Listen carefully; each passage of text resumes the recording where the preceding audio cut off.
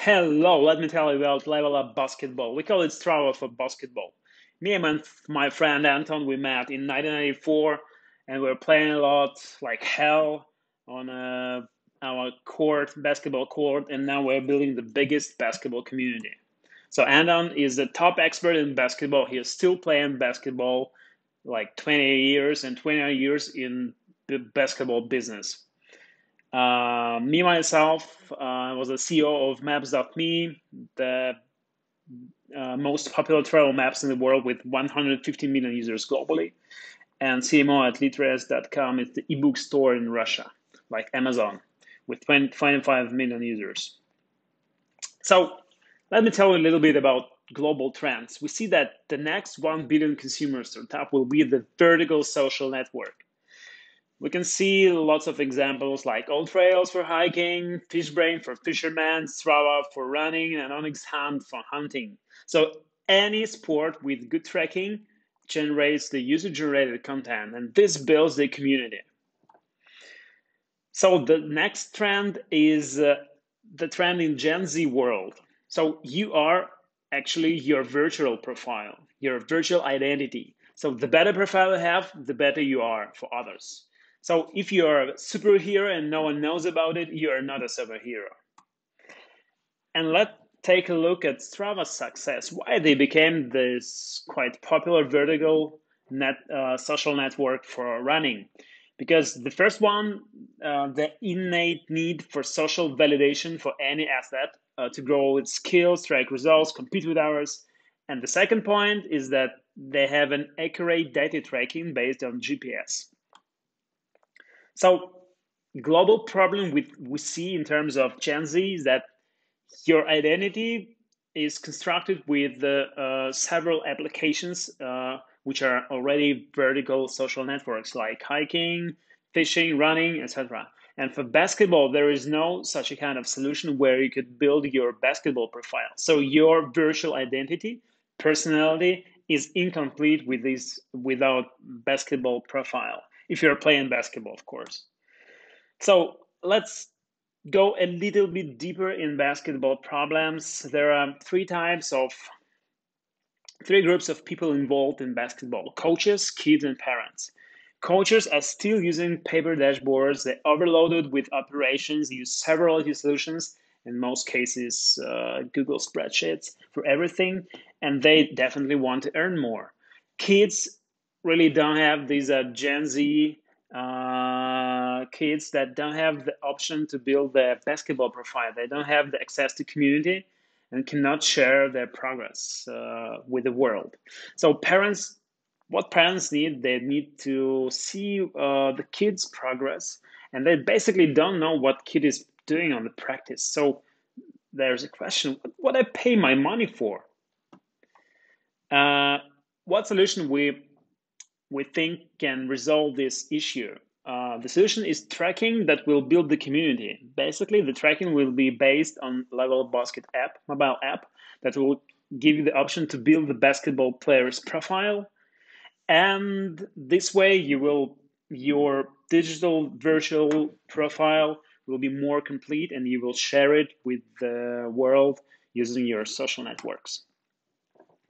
So what about other trackers? The, basically, uh, existing trackers don't really work for amateur players because wearable devices do not track important data and pro trackers are too expensive and AI cameras work only on home court but not on the, on the open court uh, on the street. Too many people out there.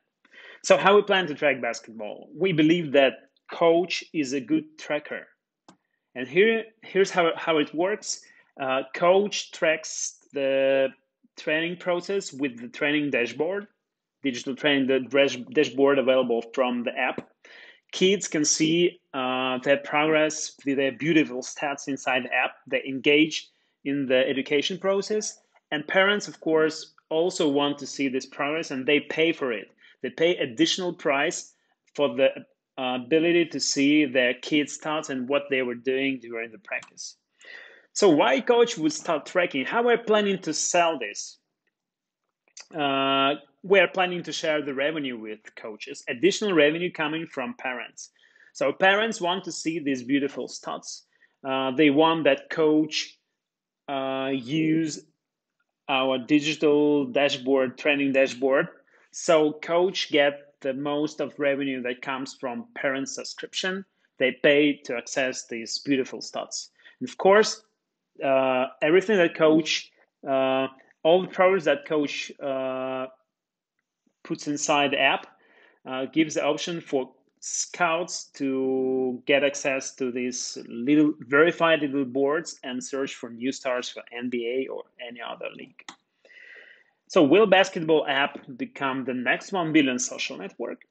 Yes, for sure, because basketball is number two team sport in the world. We have 5 million players, 500 million players globally, 26 million in the United States, and 3 million uh, players in China. So we think that the size of market is about 1.3 coaches globally and about 132k in the United States. It's highly social team sport. So how the community will grow, how we will build Strava for basketball, is that easy.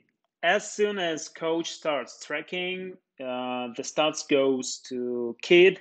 Kid shares the beautiful uh, picture with stats inside to his social networks and other kids engage in this process. They use the app, and uh, on the other hand, they start using uh, training with the coach. So the competitive scope is like this in the United States. There are several solutions, but they all are multi-sport. They're not focused on the product for specific type of sport, and there are quite a lot of uh, things that's special for basketball itself. So uh, they do not track the results, uh, and uh, as a result, they don't have the community. So what solutions we have for coaches? We planning to charge them per player. It's about two percent of the gross revenue they get from uh, parents that pay for kids education. So it's about 12, 12 to 20 year uh, dollars per player per, per year. So the average size of group is about 100 uh, kids. So 100 and uh, 1,200 dollars per one team per year. It's net revenue.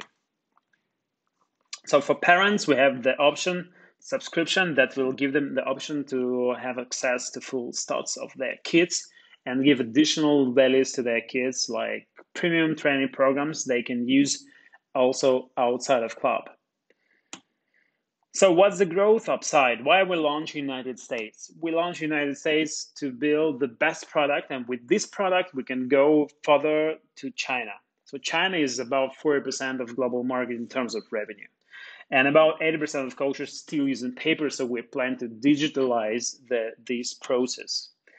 So let's take a look at the roadmap. Uh, today we have uh, an MVP ready to for a test launch in United States. We're ready to incorporate in Delaware and uh, start testing. We have we have quite a lot of customer development and uh, our friends uh, coaching uh, American kids in the United States. They're ready. They're just waiting for us.